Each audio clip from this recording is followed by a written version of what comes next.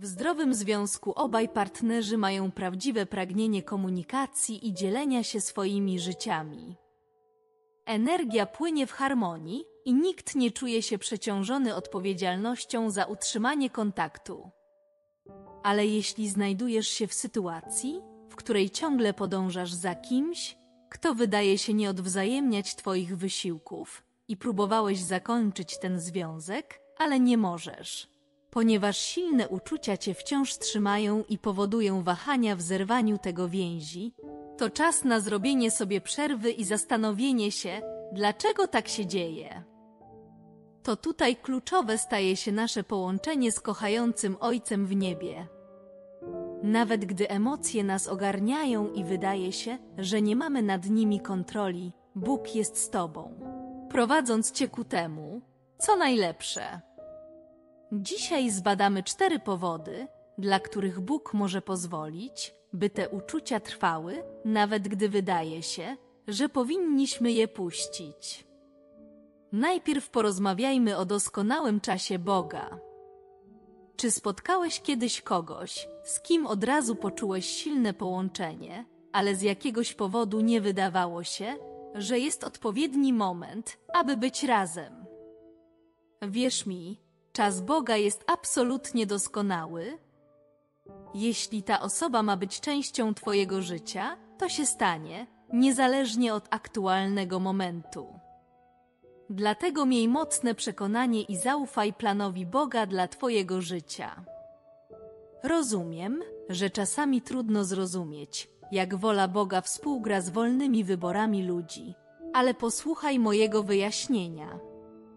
List do Efezjan, rozdział 1, wers 11 mówi: W nim to i my zostaliśmy wybrani na dziedzictwo, według postanowienia tego, który wszystko sprawia według rady swojej woli.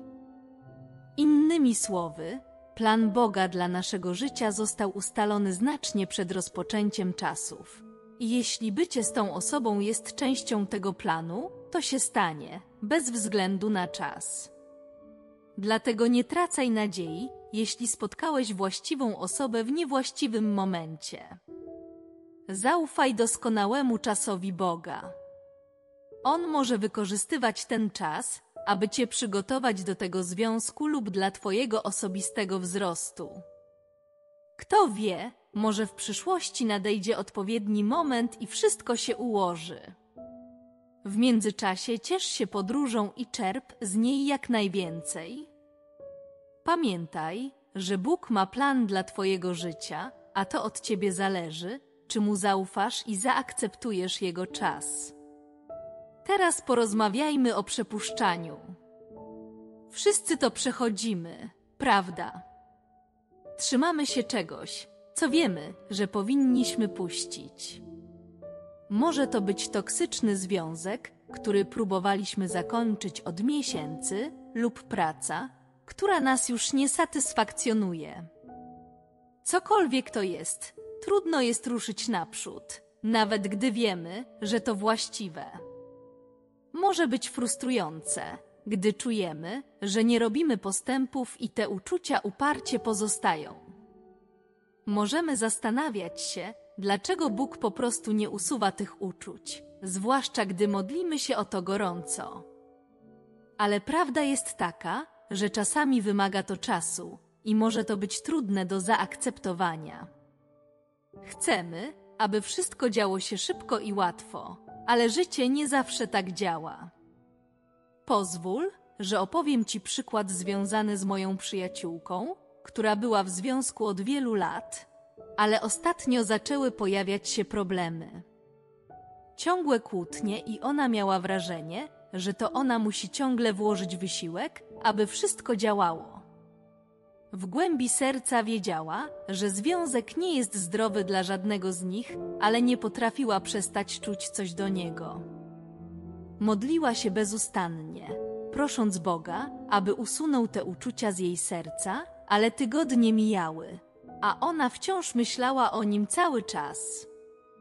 Zaczęła czuć frustrację, zastanawiając się, dlaczego Bóg nie usuwa tych uczuć od razu.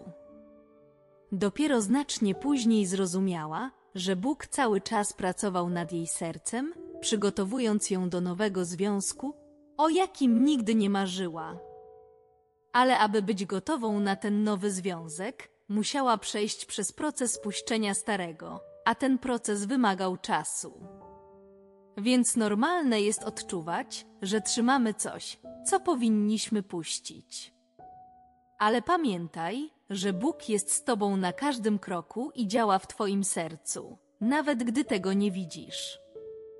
Po prostu kontynuuj modlitwę, kontynuuj ufanie i wiedz, że w odpowiednim czasie Bóg odnowi Twoje siły i da Ci odwagę, abyś poszedł dalej. Innym powodem, dla którego Bóg może pozwolić, że te uczucia utrzymują się, jest to, że przygotowuje Cię do nowego związku.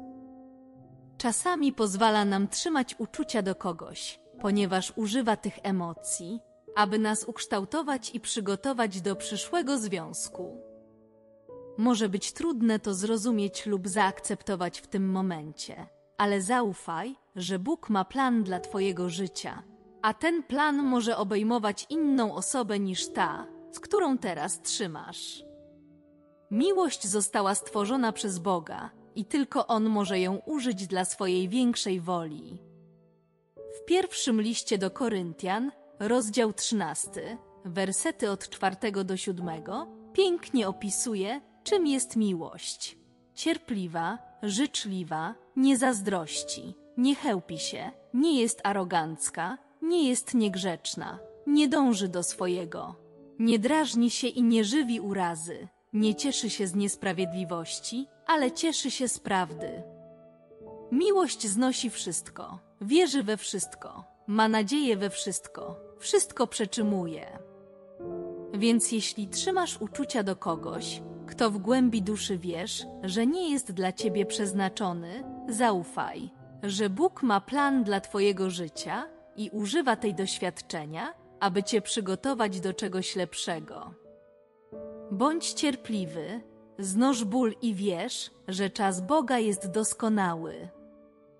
Ponieważ być może nie podjąłeś świadomej decyzji, by ruszyć do przodu, Bóg usuwa te uczucia we własnym tempie, nie w Twoim. Aby ruszyć naprawdę do przodu, trzeba aktywnie podjąć decyzję opuścić przeszłość i zacząć myśleć o innych rzeczach.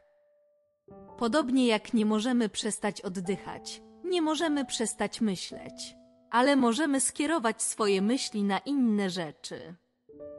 Jak napisał apostoł Paweł w liście do Filipian, rozdział trzeci, wersety 13 do 15.